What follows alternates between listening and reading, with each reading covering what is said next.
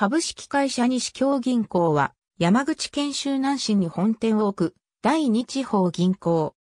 近年、首都圏への積極的な進出やインターネット、銀行構想、法銀発の女性副頭取を置くなど、女性の企業や社会進出を支援する姿勢を前面に押し出している。ただ、その後、インターネット銀行構想の挫折に加え、2000年から2005年にかけて発覚した行員による不祥事4件を金融庁への報告義務を怠っていたことが分かった。金融庁に報告していなかった不祥事は4件で、いずれも行員による着服行為。同庁には届けずに処理し、被害額はすでに弁済されたという。また財務局へ3件の内部告発があり、さらに内部調査で1件が発覚した。これを受けて、財務省中国財務局は2006年5月26日、西京銀行に対し内部管理体制の立て直しなどを求める業務改善命令を発動した。日銀出身の大橋光弘頭取は、これまで進めてきた改革が内部の抵抗で十分に受け入れられず、それが内部告発につながったと主張。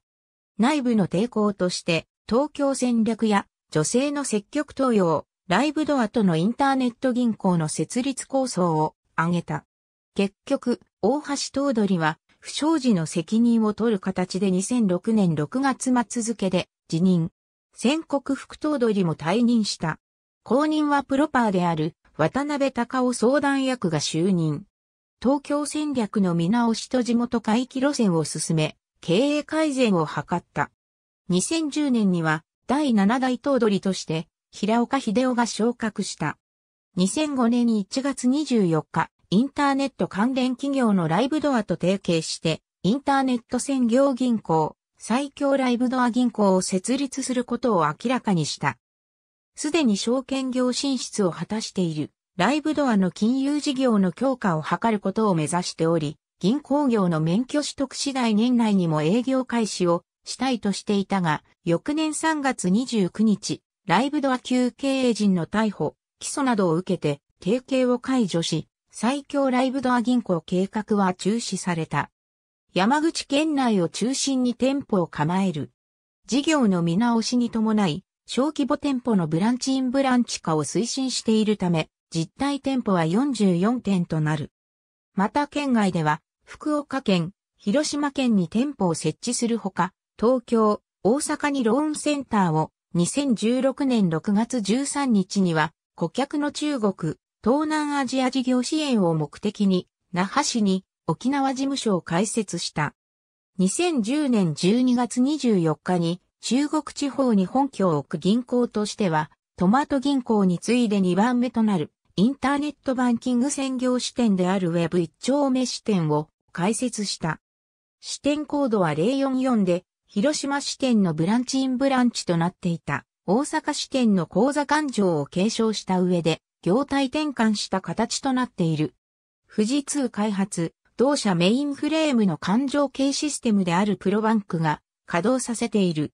また、2011年9月には第2世代の稼働が開始されており、西京銀は2014年1月にリプレイスした。 ACT SAIKYO は西京銀行の女子実業団バドミントンチーム。西京銀行地域連携部内に事務局を置く特定非営利活動法人 ACT SAIKYO が運営する。2010年に西京銀行の行員により設立すると、いきなり同年の全日本実業団バドミントン選手権大会でベスト16入り、翌年には日本リーグ2部昇格を果たす。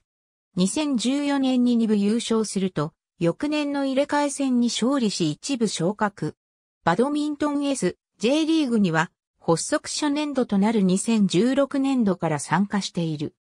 練習拠点は、下松市の下松スポーツ公園及び、東洋広範体育館に置いていたが、2018年に、周南市クリアに専用体育館、アクトアリーナが完成、練習拠点を移している。ありがとうございます。